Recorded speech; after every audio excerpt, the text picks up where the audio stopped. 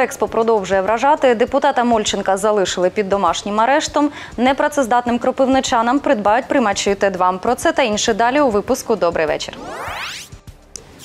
Продовжили домашній арешт депутатові новоукраїнської райради Олександру Мольченку, який ледь не заморив голодом чотирирічного сина. Апеляційний суд області залишив без змін обрану раніше міру запобіжного заходу.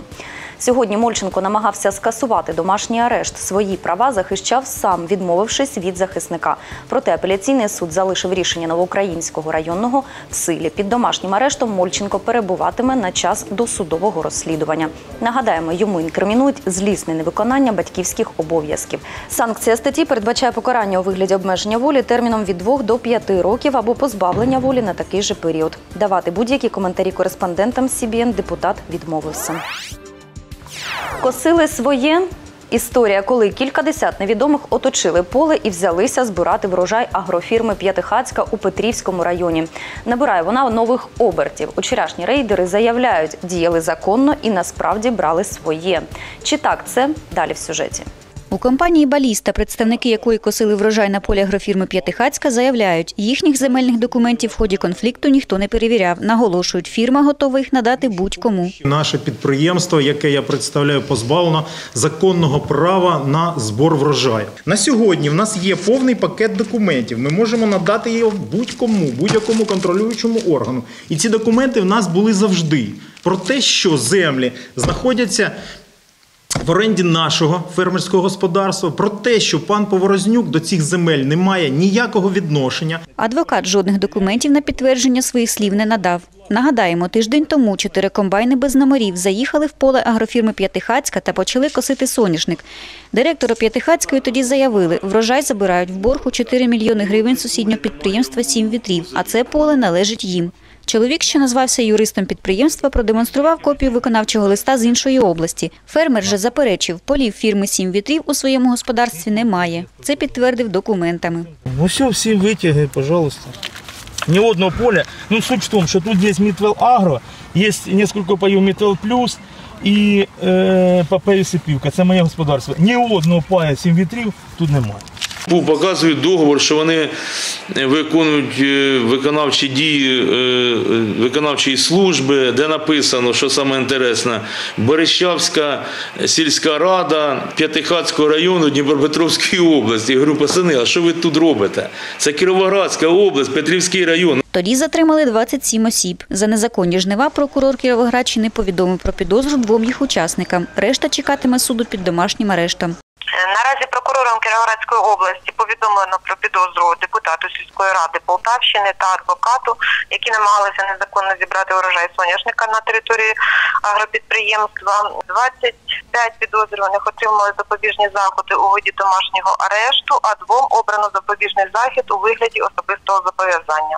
В разі встановлення їхньої провини збирачам чужого врожаю загрожує до 12 років позбавлення волі. Алла Зейферт, телевізійні новини, СІБІН.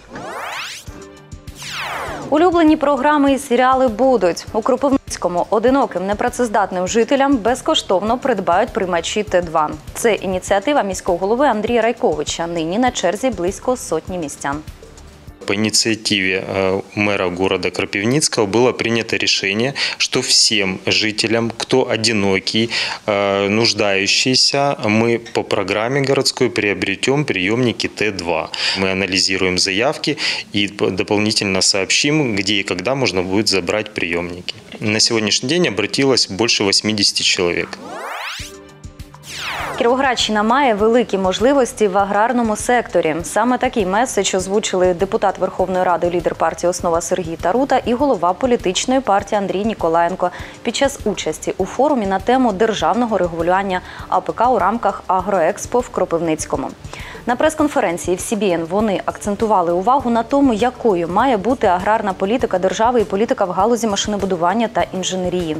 Одне з головних завдань партії повернути престиж інженерії в Україні, аби українські фахівці мали можливість працювати в країні, а їхня продукція була затребувана. Лідери партії зауважують, агроекспо це новий рівень стандарту проведення сучасних виставок. Сумно стає, що для того, щоб вирощити тонну української пшениці, ми використовуємо іноземну техніку, іноземне насіння, іноземне пальне. Треба, щоб все це було українське. От ця виставка це один одна з можливостей побачити український потенціал. І добре, що є люди, які її започаткували, вірять в неї, і вона розвивається з року в рік. Мені дуже приємно сьогодні тут бути. Партія пропонує програму Наша основа. Згідно з нею, Україна розвиватиметься як індустріальна держава, але зі значною часткою аграрного сектору. Це допоможе до 2030 року стати однією із найбільш розвинених країн. Будемо говорити і про ринок землі, і про машинобу- сільхозмашинобудування машинобудування і інші речі. Тобто, це е, сьогодні е, Кропивницький є певною мірою таким е, майданчиком для обговорення саме аграрної стратегії партії Основа. Ну, у нас є дійсно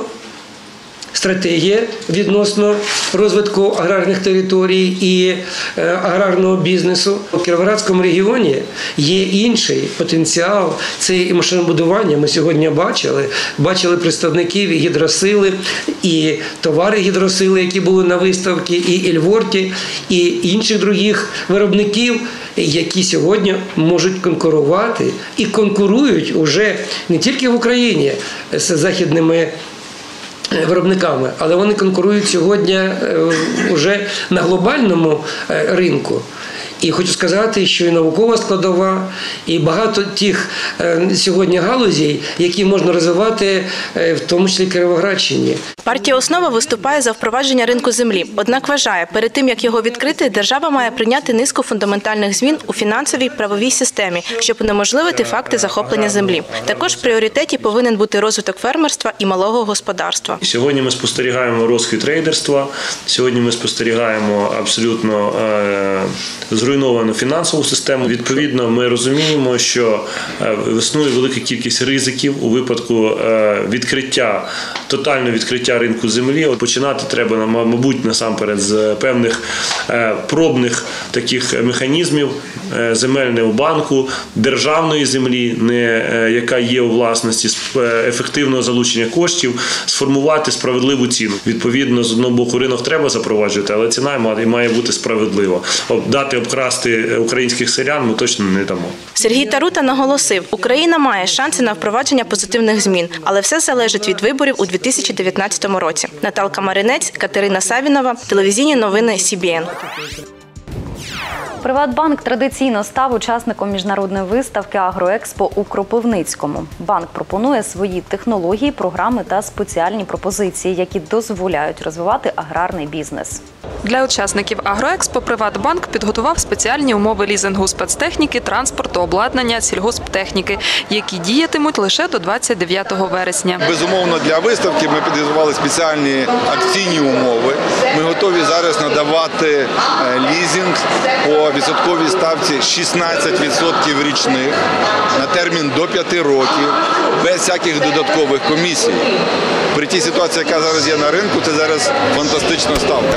Спеціально якраз до виставки ми знизили авансові платежі.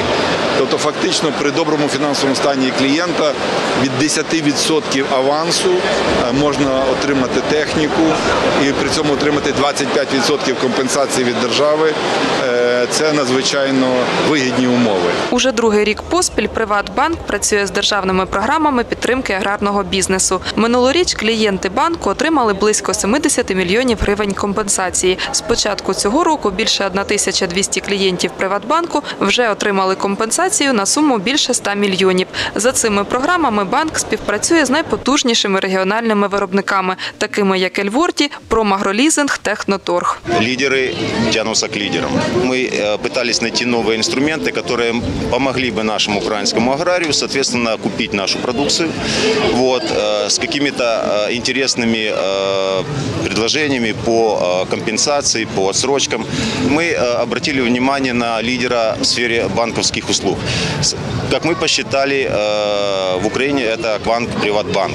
На майбутнє Приватбанк спільно з Ельворті планують розширити співпрацю і запропонувати українським аграріям програми та спеціальні пропозиції, які б надавали змогу оновити свій автопарк, придбавши сучасну техніку за доступними цінами. Лілія Кочерга, Катерина Савінова, телевізійні новини СІБІН.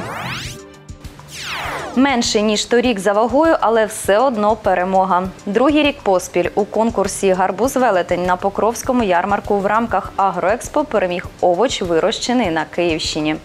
Цьогоріч у конкурсі взяли участь вісім гарбузів. Переміг Валерія Помазано з селища Кожанка Київської області. Велетень заважив 43,5 кіло. Чоловік отримав у подарунок від спонсорів свята телевізор. Це вже вдруге Валерій Помазан перемагає на Покровському ярмарку. Торік він привіз до Кропивницького рекордний гарбуз вагою майже 47 кілограмів. Ну, ріс собі та норм. Такого нічого сильно не давалося. Де гарбузи ростуть, де прибавка добавка. На основному це така культура росте на кругом. Мечта така, щоб рекорд України взяти. Фест миру, радості й добра у Кропивницькому проанонсували національний фестиваль конкурс дитячої, юнацької та молодіжної творчості. У його програмі благодійні концерти, вшанування захисників України, виставки дитячих малюнків, майстер-класи від професійних танцюристів. Завершиться фестиваль гала-концертом. Проходитиме мистецький захід в обласному центрі 12-13 жовтня. На нього запрошують колективи та окремих учасників у різних номінаціях. Серед них вокальне, хореографічне, образотворче мистецтво, гра на музичних інструментах, спортивні та інші уміння. Проект реалізується за підтримки Українського культурного фонду. Вхід та участь у всіх заходах фестивалю будуть безкоштовними. Ми вирішили не просто провести фестиваль творчих колективів, а ми провести вирішили фестиваль, де ми можемо зібрати учасників е, такого складу, щоб були від маленьких до самих дорослих, від е, самих дебютантів до професіоналів, від тих людей, які талановиті, здорові, щасливі, е, до тих, які потребують от саме нашої уваги, нашої допомоги, нашої участі. Футбольні клуби Кіровоградщини провели матчі третього попереднього раунду Кубку України. Лише інгулець з Петрового, який на виїзді здолав представника другої ліги, мир з Горностаєвки з рахунком 3-0 продовжить боротьбу за почесний трофей. ФК Олександрія, який задіяв у матчі в Одесі переважно гравців дублюючого складу, поступився з аналогічним рахунком Чорноморцю.